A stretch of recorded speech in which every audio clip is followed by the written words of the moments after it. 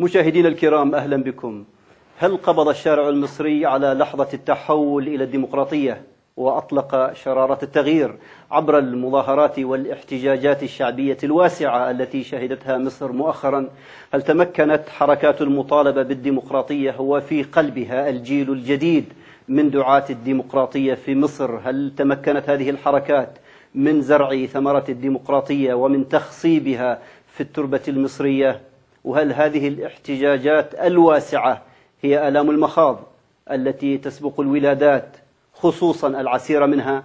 هذه الأسئلة وغيرها هي موضوع هذه الحلقة من عين على الديمقراطية ومعي لمناقشتها مجموعة من ناشطي الديمقراطية المصريين الشباب وهم شيماء أبو الخير وهي صحفية وناشطة حقوقية تعمل في صحيفة الدستور ومحمد عبد العزيز وهو ناشط حقوقي يعمل في المكتب العربي للقانون في القاهرة وعبد الله حلمي وهو عضو هيئة عليا حزب الجبهة الديمقراطية وشريف منصور وهو ناشط وباحث مصري يعمل في مؤسسة بيت الحرية هنا في واشنطن وبسام بهجت من مركز الأندلس لدراسات التسامح ومناهضة العنف وهبة قاسم ناشطة في مجال الدفاع عن حقوق الإنسان. مرحبا بكم جميعا. دعوني أبدأ منك هبة باعتبارك كما فهمت من مدينة المحلة حيث شهدت درجة عالية من من الاحتجاجات والمظاهرات مؤخرا. هل هي البداية الفعلية والحقيقية للانطلاق إلى إلى الديمقراطية في مصر؟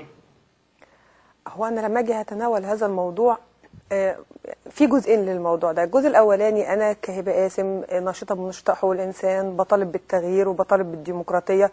كشيء طبيعي ومطلوب. لكن كمان أما أجي أتناول أحداث المحلة هتكلم ده بيعبر عن رأيي الشخصي طبعا. هتناولها كمواطنة مصرية. لو واحد أنا من محلة ليه أطلع في مظاهره لأني ببساطة شديدة عندي ضغوط اقتصادية. معظم الناس اللي خرجوا من المواطنين العاديين قد يكون ما عندهمش مشكلة في إن النظام القائم أو أو يعني تغييره أو عدم تغييره. هي كل مشكلتهم إنهم عندهم ضغوط اقتصادية مش قادرين يلبوا احتياجات أسرهم. مش عارف أعلم أولادي كويس مش عارف أعيش الأسعار بتزيد. عندي وعود من الحكومة عادة طول الوقت بيوعدوني وطول الوقت ما بتتنفذ.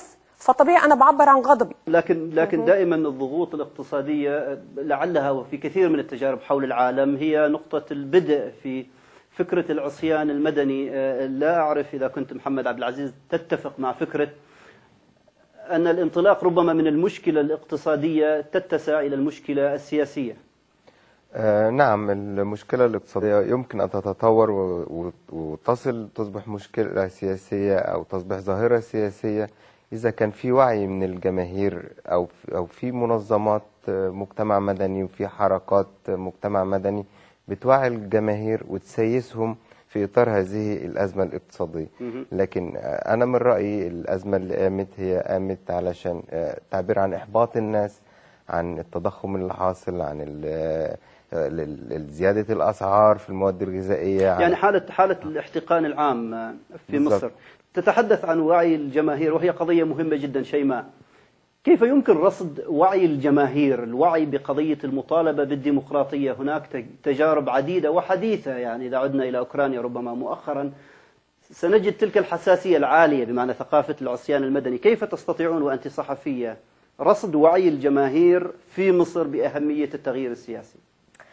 في الحقيقة خلينا نتفق برضو مع نفس اللي قالوه الزملاء على إن فكرة إن الاحتجاجات اللي بتتم في مصر حاليا دي الهدف منها أو مبررها الأساسي هو المشكلات الاقتصادية والمشكلات الاجتماعية. إحنا ممكن نرصد إزاي المجتمع بيتفاعل مع هذه المشكلات، المجتمع المصري في الحقيقة بيبتكر الوسائل اللي بيعبر بيها عن احتجاجاته عن احتجاجه على ارتفاع الأسعار عن احتجاجه على قلة الرواتب على سبيل المثال بيبتكر دوت ما حدث في المحل وما حدث في القاهرة يوم 6 إبريل كان نتاجا على تجربة أو كانت نتاجا على دعوة بسيطة لمجموعة من الشباب البسطاء الغير مسيسين بشكل كبير جدا م. عن طريق الإنترنت استخدام ال... واستخدام الفيسبوك. استخدام الفيسبوك في مصر مختلف تماما عن استخدامه في أي مكان تاني. في في مصر الفيسبوك عبارة عن وسيلة أو منبر للدعوة للتغيير الديمقراطي الدعوه إلى إصلاح في مصر. الفيسبوك هو اللي حرك الشرارة نعم. دي. آه، عبد الله حلمي أين تقف أحزاب المعارضة؟ أين تقف حركات المطالبة بالتغيير ومن بينها كفاية؟ أين تقف من هذه الاحتجاجات والمظاهرات الأخيرة؟ آه، مع إن كتير في كتير من التحفظ على إن إن أحزاب المعارضة صغيرة وإنها مش موجودة بالشارع المصري كتير. وكذلك حركة كفاية وحركات تانية مماثلة إلا إن أنا بقى لازم كلنا نع- كفاية صغيرة وغير موجودة كما يجب في الشارع المصري؟ طبعا. 80 مليون مواطن إيه نسبة كفاية فيهم؟ لكن النقطة إن وجود كفاية من سنين هو اللي غا- بدأ يغرس بذرة التظاهر والاعتراض والاحتجاج صحيح. والانعكاس السياسي للأحداث الاقتصادية مهم جدا إنك تربط الانعكاس السياسي لحدث اقتصادي زي العيش أو ولكن- الربط ولكن كفاية كان دور التي وكان دور الجماعات دي نعم. من خلال رفع وعي الجمهور. مهم. وفي لحظة معينة لما الضغط زاد كان المخرج الوحيد هو الحل المطروح من سنين. نعم.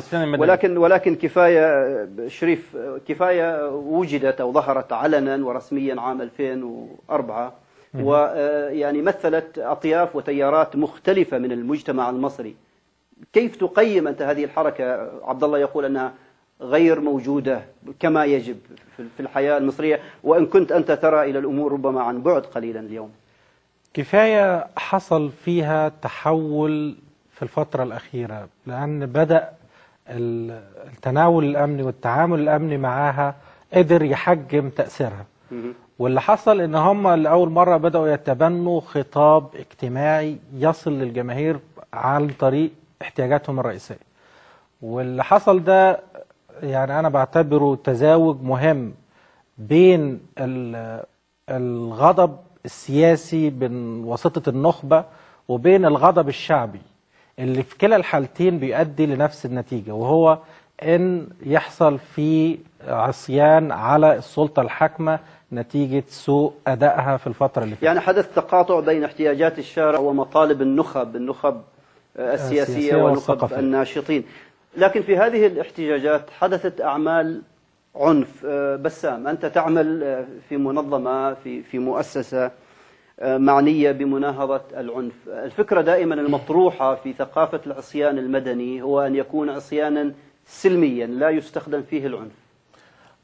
هو أهمية ال- العصيان المدني وأهمية تأثيره واستدامة التأثير بتاع أي حركة مدنية تكمن في قوة ال- الخطاب بتاعها. قوة الخطاب جزء أساسي منها عدم استعمال ال- ال- العنف. آه، آه، ال- الواقع في 6 أبريل إن العنف نشأ في المحلة بس ال- العمال اللي بادروا هذه المبادرة هم ما نظموش ال- ال- العصيان المدني في باقي المحافظات بس هم بادروا هذه المبادرة عمال مصنع غزل المحلة بادروا هذه المبادرة إن هم آه، هيعيدوا اعتصامهم مرة أخرى واللي كانوا قاموا بيه السنة اللي فاتت. وحاولوا يجبروا ال ال ال الاعتصام بتاعهم مرة أخرى ما استدعى أن قوات الأمن قامت هل, هل بالتدخل تتحدث هنا وهو- عن, مش عن مشكلة تنظيم عن مشكلة تنظيم المجتمع آه، حركة هذا المجتمع؟ هي المشكلة في الثقافة وإن آه، عندما تقوم حركة آه، غير مسيسة زي عمال الغزل والنسيج بتوع المحلة بفرض أمر واقع اعتصام العام الماضي ونجحوا فيه بشكل كبير جدا. ولكن عندما آه، يتمدد هذا هذا الاعتصام ليحتوي ليحتوي مطالب أكبر زي مثلا مطالب ليها علاقة بالتغيير زي مطالب ليها علاقة بأوضاع المعيشة آه، ينبغي أن يكون الكل مسؤول. يعني ينبغي أن يكون هناك مسؤولين عن عن عدم الوصول للعنف. لأن الوصول للعنف بيستغل من قبل الإعلام الرسمي ف يعني العنف الموجود في نعم تتحدث عن المسؤولية يعني ينبغي أن يكون هناك من هو مسؤول. من يجب